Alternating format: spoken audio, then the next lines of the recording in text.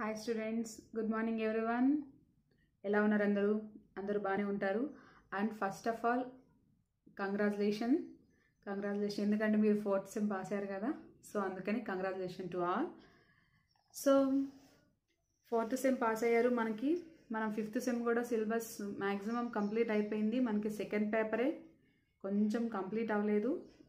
అంటే second paper notes ఇచ్చాను కానీ నేను టాపిక్స్ అనేవి కొన్ని ఎక్స్ప్లెయిన్ చేశాను కానీ అన్నీ ఎక్స్ప్లెయిన్ చేయలేదు. సో సుహాస్నికి అయితే తెలిసే ఉంటుంది. సుహాస్ని నేను ప్రిపేర్ అవుతాను మేడం అన్నది కాబట్టి నేను అందుకే చెప్పలేదు మీరు ఎవరికి. ఒకవేళ మీకు తా ఫిఫ్త్ సెమ్ ఇంకా డౌట్ ఉన్నది నాకు సిలబస్ అంతగాను అనుకుంటే మీరు నాకు మెసేజ్ చేయొచ్చు. నేను ఆల్రెడీ ఆ టాపిక్స్ని మళ్ళీ ఎక్స్ప్లెయిన్ చేసి గ్రూప్లో అనేది నేను సెండ్ చేస్తాను మీకు. ఒకవేళ టాపిక్స్ మీకు అర్థం కాలేదు నేను చదవ అంటే అర్థం చదివినా కానీ అర్థం కాలేదు అనుకుంటే మళ్ళీ నేను మీకు చెప్తాను. ఫిఫ్త్ సెమ్ది. సో ఫిఫ్త్ సెమ్ ఎగ్జామ్స్ అనేవి ఉంటాయి మనకి గుర్తుపెట్ తెలుసు కదా ఫిఫ్త్ సెమ్ ఎగ్జామ్స్ ఉంటే క్యాన్సిల్ అయితే ఏం చేయరు. సో వాటికి కూడా ప్రిపేర్ అవుతూ ఉండండి. అలాగే మేము సిక్స్త్ సెమ్ స్టార్ట్ చేస్తాం మళ్ళీ. సిక్స్త్ సెమ్ స్టార్ట్ చేస్తాం. సేమ్ ఫిఫ్త్ సెమ్లో ఏ విధంగా అయితే టూ పేపర్స్ ఉన్నాయో మనకి సిక్స్త్ సెమ్లో కూడా మళ్ళీ మనకి టూ పేపర్స్ ఉన్నాయి. అలాగే సిక్స్త్ సిక్స్త్ టూ పేపర్స్ ఉంటాయి ఆ టూ పేపర్స్ కూడా ప్రిపేర్ అవ్వాలి. ఫిఫ్త్ సెమ్ అయితే టూ పేపర్స్ ఉన్నాయో ఆ టూ పేపర్స్ ప్రిపేర్ అవుతూ ఈ సిక్స్త్ సెమ్ వీడియోస్ని చూడండి. ఓకే? ఫోర్త్ సెమ్ అయితే అలా ఆటోమేటిక్గా మీరు పాస్ అయ్యారు కాబట్టి ఫిఫ్త్ సెమ్ టాపిక్స్ తెలుసుకొని చదివితే బెటర్. ఎందుకంటే ఎగ్జామ్స్ ఉంటాయి కదా సో అందుకని చెప్పి అంటున్నాం. సో మనం సారీ సిక్స్త్ సెమ్లోకి వెళ్తే సిక్స్త్ సెమ్లో ఉన్న ఫస్ట్ పేపర్ వచ్చేసి మనకి మోడర్న్ ఫిజిక్స్ అంటే ఆధునిక భౌతిక శాస్త్రం అనమాట సో ఆధునిక భౌతిక శాస్త్రంలో మనకి సేమ్ ఫోర్ యూనిట్స్ ఉంటాయి. సో ఫోర్ యూనిట్స్లో ఫస్ట్ యూనిట్ వచ్చేసి పరమాణు వర్ణపటం. పరమాణు వర్ణపటం అనమాట అంటే పరమాణువు యొక్క పరమాణువు అనేది ఏ విధంగా ఉంటుంది దాని యొక్క వర్ణపటం దాంట్లో ఉండే కృష్ణ వస్తువు అంటే దీంట్లో ఉండే టాపిక్స్ ఏంటంటే కృష్ణ వస్తు వికిరణం అలాగే కాంతి విద్యుత్ ఫలితము కాంప్టన్ ఫలితము కణాలు కణాల యొక్క స్వభావం ఏ విధంగా ఉంటుంది అలాగే హైడ్రోజన్ పరమాణువు యొక్క రేఖా వర్ణపటం అనమాట ఏ విధంగా ఉంటుంది అలాగే రూదర్ఫాట్ ఆల్ఫా స్కాటరింగ్ అంటే రూదర్ఫాట్ ఆల్ఫా పరిక్షేపణ కిరణాలు మళ్ళీ మళ్ళీనేమన్నా రూదర్ఫాట్ నమూనా బోర్ నమూనా ఇవన్నీ మనకి టెన్త్ నుంచి చదువుతాం కదా సో ఆ నమూనాలే మళ్ళీ మనం తీసుకుంటాం దీంట్లో. బోర్ నమూనా అలాగే ఫ్లాంక్ హెడ్జ్ ప్రయోగాలు సోమర్ఫీల్డ్ నమూనా. సో ఈ టాపిక్స్ అన్నీ మనకి పరమాణు వర్ణపటంలో ఉంటాయి అన్నమాట సో ఈ first topic sorry first unit మొత్తం పరమాణువు గురించి పరమాణువు ఏ విధంగా ఉంటుంది దాంట్లో ఉండే అణువులు ఎలా ఉంటాయి అనే దాని గురించే మనం ఈ పరమాణు వర్ణపటంలో తెలుసుకుంటాం. సో నెక్స్ట్ యూనిట్ వచ్చేసి మనకి కణ తరంగ స్వభావం లేదా తరంగ కణ ద్వంద్వ స్వభావం అంటాం. కణ తరంగ స్వభావం లేదా తరంగ కణ ద్వంద్వ స్వభావం. దీంట్లో మనకి డీ బ్రోగ్లీ పరికల్పన అలాగే డీ బ్రోగ్లీ తరంగ వేగం ఇవ డీ బ్రోగ్లీ అనేది మీకు కెమిస్ట్రీలో కూడా వస్తుంది. సేమ్ కెమిస్ట్రీలో అయితే ఏ విధంగా ఉంటుందో కూడా ఫిజిక్స్లో కూడా సేమ్ అదే విధంగా ఉంటుంది. సో అలా సో డీ బ్రోగ్లీ తరంగ వేగం డీ బ్రోగ్లీ కణ తరంగ వేగం సో ఇవన్నమాట. వాటి యొక్క దశా వేగల అధ్యయం హైసన్బర్గ్ అనిశ్చత్వ నియమము అలాగే కాలాలపై ఆధారపడని ఆధారపడే స్క్రోడింజర్ తరంగ సమీకరణాలు. సో ఇవి మన టాపిక్స్ అనమాట కణ తరంగ స్వభావంలో. అలాగే థర్డ్ యూనిట్ వచ్చేసి కేంద్రక భౌతిక శాస్త్రం. కేంద్రక భౌతిక శాస్త్రం అంటే కేంద్రం కేంద్రంలో ఉండే పరమాణువులు అణువులు అలాగే కేంద్రం యొక్క నిర్మాణం ఏ విధంగా ఉంటుంది అలాగే కేంద్రం యొక్క పరిమాణం దాని నిర్మాణం పరమాణు భారం గురించి అలాగే కే కేంద్రకంలో ఎలక్ట్రాన్లు వాటి గురించి మనం తెలుసుకుంటాం అనమాట కేంద్రక భౌతిక శాస్త్రంలో. అలాగే యూనిట్ ఫోర్ వచ్చేసి మనకి రేడియో ధార్మికత. మీకు తెలిసే ఉంటుంది ఆల్రెడీ మీరు కెమిస్ట్రీలో రేడియో ధార్మికత గురించి తెలుసుకునే ఉంటారు కదా సో అదే టాపిక్ మళ్ళీ ఇక్కడికి వస్తుంది. కేంద్రక స్థిరత్వం రేడియో అంటే రేడియో ధార్మికత ఏ విధంగా ఉంటుంది ఆల్ఫా సారీ ఆల్ఫా కణంలో బీటా కణంలో గామా కణంలో రేడియో ధార్మికత ఏ విధంగా ఉంటుంది అనేది కూడా మనం దీంట్లో తెలుసుకుంటాం.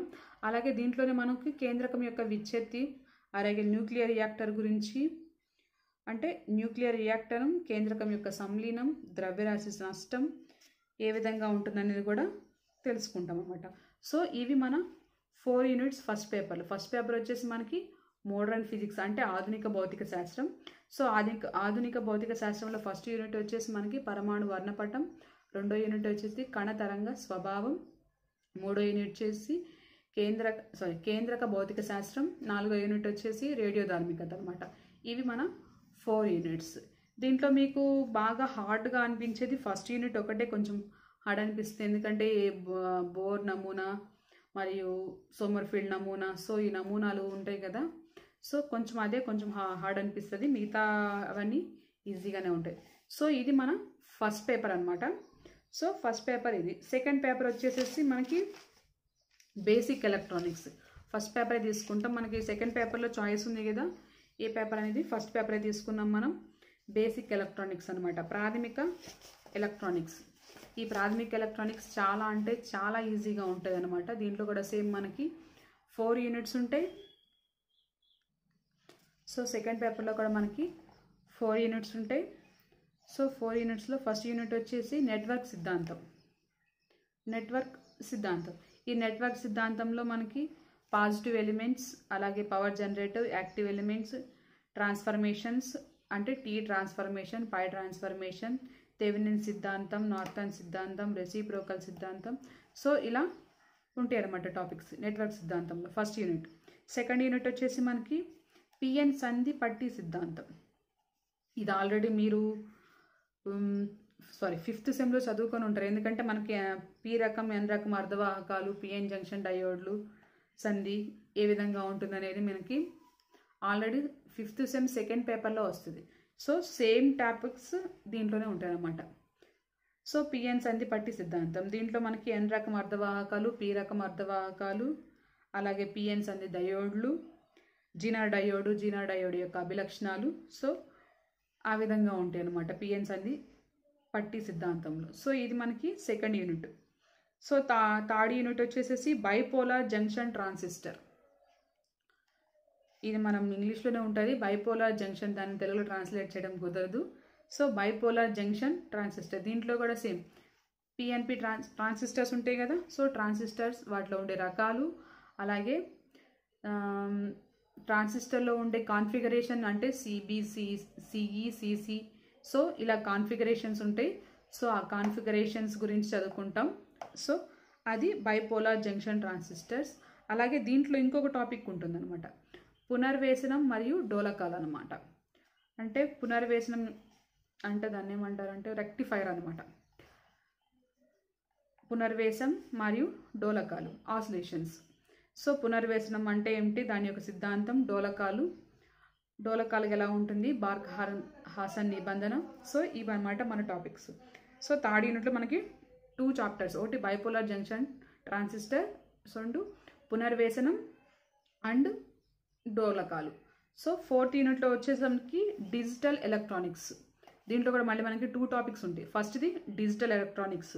అంటే ఏ విధంగా ఉంటాయి? ద్వాంశ సంఖ్య దశాంశ సంఖ్య ద్వాంశ సంఖ్యను దశాంశమానంలో మార్చడం దశాంశ సంఖ్యను ద్వాంశంలో మార్చడం. సో ఇలాంటివి మనకి వస్తాయి అన్నమాట. రెండోది దీంట్లో రెండో టాపిక్ వచ్చి తర్క ద్వారాలు లేదా లాజిక్ గేట్స్ అంటాం. ఇంగ్లీష్లో అయితేనే బెటర్ మనకి లాజిక్ గేట్స్ అంటే డైరెక్ట్గా చెప్పేసుకోవచ్చు. తర్క ద్వారాలు అంటే ఎలానో అనిపిస్తుంది మనకి. సో లాజిక్ గేట్స్ అనమాట ఇవి మనకి ఫోర్త్ యూనిట్లో అనమాట సో దీంట్లో ఫస్ట్ యూనిట్లో ఫస్ట్ వచ్చేసి నెట్వర్క్ సిద్ధాంతం రెండోది పిఎన్ సంధి సిద్ధాంతం. థర్డ్ యూనిట్లోకి వచ్చేసి మళ్ళీ మనకి టూ టాపిక్స్ ఉంటాయి. బైపోలార్ జంక్షన్ ట్రాన్సిస్టర్ ఒకటి పునర్వేసనం మరియు డోలకాలు. అలాగే ఫోర్త్ యూనిట్లోకి వచ్చేసి మళ్ళీ మనకి టూ టాపిక్స్ ఫస్ట్ టాపిక్ వచ్చేసి ఏమన్నా? డిజిటల్ ఎలక్ట్రానిక్స్ అలాగే రెండో టాపిక్ వచ్చేసి లాజిక్ గేట్స్ ఈ ఫోర్ యూనిట్స్లో మనకి ఈజీ టాపిక్ అంటే ఫోర్త్ యూనిట్ అనమాట డిజిటల్ ఎలక్ట్రానిక్స్ మళ్ళీ లాజిక్ గేట్స్ చాలా ఈజీగా ఉంటాయి. లాజిక్ గేట్స్లో మనకి బేసిక్ ఆర్ అండ్ ఆల్రెడీ మీరు కంప్యూటర్లో నేర్చుకుని ఉండొచ్చు అనుకుంటున్నా నేను. OR gate AND gate NOT gate. So ఈ గేట్స్ అనేవి మనకి అలాగే యూనివర్సల్ గేట్స్ డిమోర్కాన్స్ తీరం ఇవన్నీ మనకి లాజిక్ గేట్స్లో ఉంటాయి అన్నమాట. సో ఇది మన సెకండ్ పేపర్ సిలబస్. సో మీరు ఫిఫ్త్ సెమ్ ప్రిపేర్ అవుతూనే సిక్స్త్ సెమ్ అనేది వీడియోస్ చూసుకుంటూ ఉండండి. okay all the best for fifth sim. thank you